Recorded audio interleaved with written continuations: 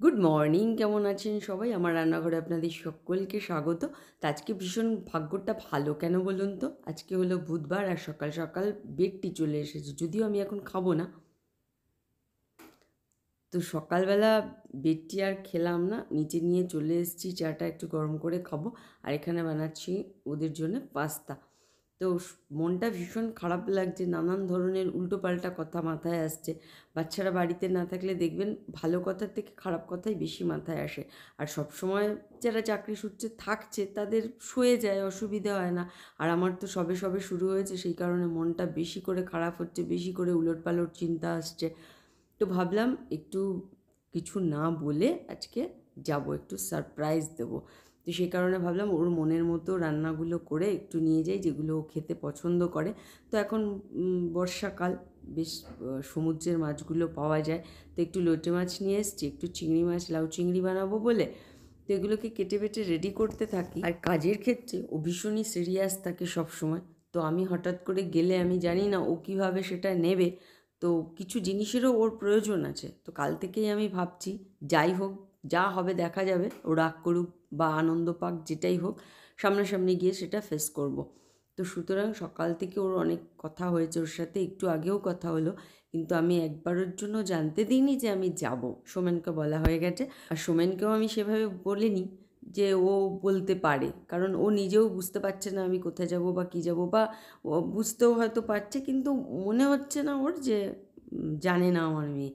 তো সেইভাবে করে যাব। আর এখানে তেলের বোতলটা দেখাবার একটাই কারণ, সেটা হচ্ছে মা মায়ের মামার বাড়ির থেকে ঘানিতে ভাঙা একদম টাটকা সর্ষের তেল নিয়ে এসছে। বারবারই বলে যাচ্ছে, এটা খুব ভালো খুব ভালো খুব ভালো। তো ভাবলাম লোটে মাছটাই এটা দিয়ে রান্না করি। আর এই তেলটা দেখছি, বাজার থেকে যে তেল আমরা কিনে আনি, সেটার থেকে একটু বেশি গাঢ়, একটু বেশি কালো। তো জানি না সেটা ঘানির তেল বলে হয়তো হতে পারে, আমার জানা নেই। তো যাই হোক মায়ের মামার বাড়ি হচ্ছে গ্রামের দিকে। আরও কিছু জিনিস এনেছে। তো এখন আর দেখাতে গেলে দেরি হয়ে যাবে, সেগুলো আমি ফিরে এসে দেখাবো আপনাদেরকে, ঠিক আছে? তো চলুন লোটে মাছটাকে রান্না করে নিই। আর পাস্তা যেহেতু আমি খাইনি, তাই একটা রুটি ভেজে নিচ্ছি আমি। আর সত্যি কথা বলতে কোথাও যাওয়ার আগে না, এই খাওয়া দাওয়ার ব্যাপারটা আমার কেমন একটা হয় মানে অত্যাধিক টেনশন হতে থাকে। এই কখন যাব, দেরি হয়ে যাবে নাকি? আর সত্যি কথা বলতে যদি টাইমের মধ্যে না পৌঁছতে পারি, তাহলে তো মেয়েটা ঠিক টাইমে খাওয়া হবে না। তাহলে আর গিয়ে বেকার বেকার কি হবে?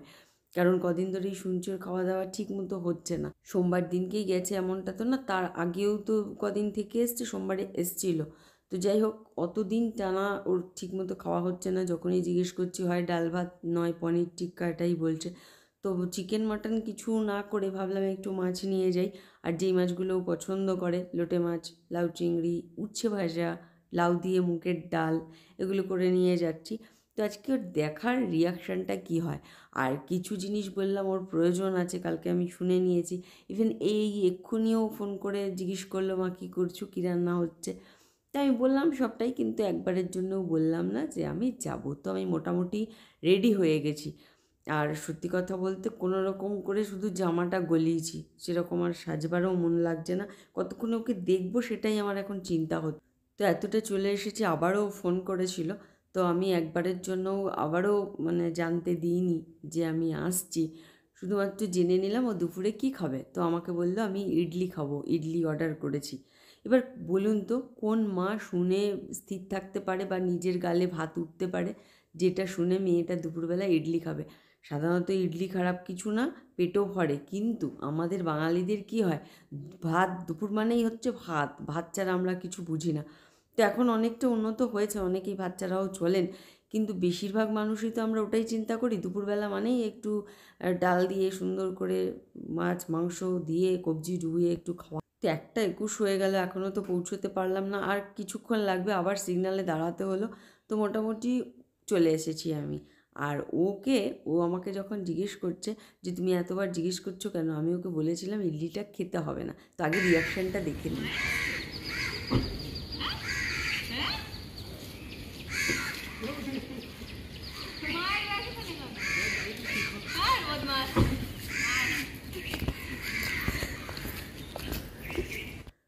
তো আমি রুমে চলে এসেছি। রিম রুমের যা যা কিছু নিয়মকানুন আছে সেগুলোকে আমাকে মানে ডকুমেন্টস জমা দিতে হলো। দিয়ে ওর রুমে গেলাম। এর রুমটা তো কাজের চাপে যা হবার তাই হয়ে রয়েছে। আর সাইড ভিউগুলো এইরকম। বেশ ভালো, শান্ত পরিবেশ। সত্যি কাজের জন্য ভীষণ ভালো জায়গা। নিরিবিলি একদম। তো একটা জুতো কিনেছে সেটা নিয়ে দেখাচ্ছে আর যেটা আমি বলছিলাম আমি, ওই মোড়টাতে চুপচাপ দাঁড়িয়েছিলাম। সোমেন আমাকে বলল, এখানটা দাঁড়ালে তোমাকে কেউ দেখবে না। আর ও আমাকে সিগনালে যখন দাঁড়িয়েছিলাম, তখন ফোন করে জিজ্ঞেস করছিল যে তুমি ইডলি খেতে আমাকে বারণ করছ কেন? আমি দুপুরে তাহলে কী খাব? এখন সোয়া দুটো বাজে, সোয়া দুটোর মতো মোট কথা চলে এসেছি। এবার এসেছি যেই ও হুড়োহুড়ি শুরু করে দিয়েছে। মানে হয় না যে বাপের বাড়িতে গেলে বা মেয়ের বাড়িতে গেলে মেয়ের বিয়ের পরে যে কী খাবে কী খাবে একটা ব্যাপার হয়ে যায়। তো ও সেটা শুরু করে দিয়েছে, মা, কী খাবে কী খাবে? একটা কফি অর্ডার করি, একটা এটা করি, একটা সেটা করি। আর না, কিছুই খাব না। আমি একটা গ্রিন টি করে দে, সেটাই খাই। তো সেটা আমি খাচ্ছি, ওকে একটু ভাতটা বেড়ে দিই, আর যেটা বলছিলাম। তো ও তখন থেকে আমাকে জিজ্ঞেস করছে, তুমি আমাকে ইডলি খেতে বারণ করছ, তাহলে আমি খাবোটা কি? তা আমি না, দুপুরবেলা ইডলিটা ঠিক হয় না। তো দেখছি আমি তখনও ভেবেছে যে, তাহলে আমি কাউকে দিয়ে একটা পাঠাচ্ছি, কিন্তু আমি নিজেই যাব, এটাও ভাবিনি। তুমি কি তাহলে সৌমেনকে দিয়ে কিছু খাবার দাবার পাঠাচ্ছ? তা হচ্ছে দেখছি দেখছি বলেও তখনও বুঝতে পেরেছে, না, সত্যি করে বলো, তাহলে আমি ইডলিটা আর খেয়ে নেব নালে যাই হোক ব্ল্যাকমেল এখানেও তা আমি বললাম যে, না, সৌমেন কিছুক্ষণের জন্য পৌঁছে যাবে। তুই খাস না। ব্যাস, যেই শুনলো সৌমেন যাবে, এবার সৌমেনকে ফোন করতে শুরু করেছে। এবার সৌমেন, সৌমেনের রাস্তা মতো ঠিকই বলছিল, দশ মিনিট আছে, পাঁচ মিনিট আছে, দু মিনিট আছে। তো ও নিচে নিজে থেকেই আগে থেকে দাঁড়িয়ে রয়েছে। তো সৌমেনকে বলল, তুই আস্তে ধীরে আয়, আমি নিচেই দাঁড়িয়ে আছি। ততক্ষণে ওর ইডলিও অর্ডার যে করেছিল, সেটা চলে এসেছে। তো এই জিনিসগুলো কিনেছে। তো যাই হোক, আমাকে সৌমেন বলল মোড়টাতে তুমি দাঁড়াও, তোমাকে মানিয়ে দিয়ে দেখতে পাবে না। আমিও সেই মতো দাঁড়িয়েছিলাম। এবার দেখলেন আপনারা রিয়াকশান তো আগে যদি আরেকটু ছোট থাকতো, তাহলে এইটা অন্যরকম হতো, দৌড়ে ছুটে আসতো, এখন তো একটু বড় হয়েছে। তো সেটা হয় না আর, সেটা সবার ক্ষেত্রেই। তারপরে আবার নতুন জায়গা যদি বাড়িতে হতো, তাহলে কী করতো আমি জানি না। যেহেতু বাইরে, তাই থেমে থুমে বেশ নিজেকে কন্ট্রোল করেছে। এখানে আমি খাবার দাবার খেয়ে সেই মামির কত রকম গল্প সেটা শুনলাম। আর যেটা আমি নিয়ে এসেছি মেনলি ওকে দেখাবার জন্যে, সেটা আমি ওকে বললাম, একটু চোখ বন্ধ কর। ও আইডিয়া লাগাতেও পারেনি। কারণ ওর ধারণাই ছিল না যে ওগুলো তাড়াতাড়ি চলে আসবে যবে আমরা জমা টমা দিয়েছিলাম। এত তাড়াতাড়ি আসার কথা নয়। মোটামুটি করে চলে এসেছে। তাই আমি বললাম, একটু চোখটা বন্ধ কর। কিছু জিনিসপত্র দিই তো কিছু জিনিসপত্র বলতে কিছু কাগজপত্রই কিন্তু যেটা আমাদের একটা বেশ সুন্দর দিক নিয়ে যেতে চলেছে। যাই হোক, কোনো কিছু কেনাকাটার জিনিসপত্র নয়। তো পরে আস্তে ধীরে জানতেই পারবেন যারা ব্লগ দেখেন। তো আমি আর এখানে ডিসক্লোজ করছি না। আর ওর রিয়াকশানটা দেখুন, দেখেই বুঝতে পারছেন যে খুব ভালো একটা জিনিস। আর এগুলোও কতটা ইম্পর্টেন্ট আপনারা ওর রিয়াকশান দেখলেই সেটা বুঝতে পারবেন। আর সবথেকে যেটা ভালো হয়েছে, সেটা হচ্ছে আজকে আমার একটা ভিডিও পোস্ট ছিল। ঠিক আছে? তো আমি সেই কারণে ওকে বারবার জিজ্ঞেস করছিলাম, কটা বাজে কটা বাজে কটা বাজে? আর ও যতবারই আমি জিজ্ঞেস করছি, ততবারই ভাবছে, বোধহয় আমি এক্ষুনি উঠে যাওয়ার কথা বলছি বা চলে যাওয়ার কথা বলছি, ততক্ষণই বলছে, বাড়ি গিয়ে কী করবে মা? তুমি একটু বসো না বসো না। তো এই হচ্ছে ব্যাপার। মনে হচ্ছে যেন অনেক বছর বাদে ওর সাথে আমার দেখা হয়েছে। কয়েকদিন ওর কীভাবে কাটলো, কি কি কাজ কমপ্লিট করতে পেরেছে, আমার কি কি কাজ হয়েছে, আমি চিকু পিকলুর সাথে কীভাবে দিন কাটাচ্ছি, এই নানান গল্প করতে করতে বেশ ঘন্টাখানেক তো কেটেই গেল। তো যাই হোক এবার আর দেরি করব না। তার কারণ বেশিক্ষণ দেরি করলে আবার ওইদিকে জ্যামে পড়তে পারি। তো বেরিয়ে যাব আর লেট করে লাভ নেই। কিন্তু দেখছি ওর মনটা খারাপ হয়ে যাচ্ছে সাথে আমারও আর কদিন থাকতে হবে জানা নেই সে কারণে আর বুঝতে দিলাম না। আমি বিয়ে করলে এই মহিলা খুব শিগগিরই শিগগিরই পটল তুলবে। টাটা। টাটা। একুশ তারিখ নাও ফিরতে পারি। থাপ্পড় মারবো টুকাই সোজা বাড়ি যাবি? দেখছি আমি লিটারালি বলছি। কাজ হয়ে যাবে সোজা বাড়ি। দুটো শান্তি শান্তি মাথাটা একটু শান্তি। শান্তি হয়ে যাবে। যাও সাবধানে যাও। টাটা। টাটা। দিয়ে দিলাম। হুম।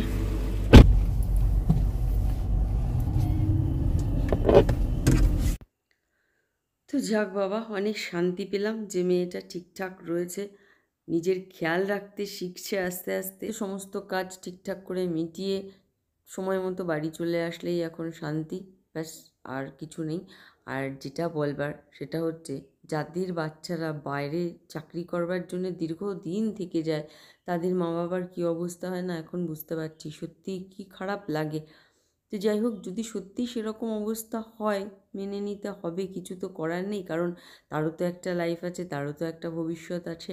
আর যেটার জন্যে আমরা মা বাবারা সবসময় উঠে পড়ে লেগে থাকি। ভালো চাকরি করবে, ভালো টাকা কামাবে, ভালো বাইরে থাকবে, এরকমই, সেরকম কত কি ভেবে নিই আর ঠিক যখন সেই পরিস্থিতি সামনে আসে, সেটা সামলে ওঠা সত্যিই ভীষণ মুশকিলের। কিন্তু আবার মনকে শক্তও করতে হবে, কিছু করার নেই। তো যাই হোক চলুন এবার বাড়িতে রওনা হই, দেখি বাকি বাচ্চাগুলো আমার কি করছে। আর আকাশটা তো নিয়ে বলার কথা নেই, সত্যি দারুণ সুন্দর লাগছে দেখতে। তো এটা দেখতে দেখতেই অন্যমনস্ক হয়ে যাই, যতটাকে মানে যতক্ষণ কষ্টটাকে ভুলে থাকা যায়।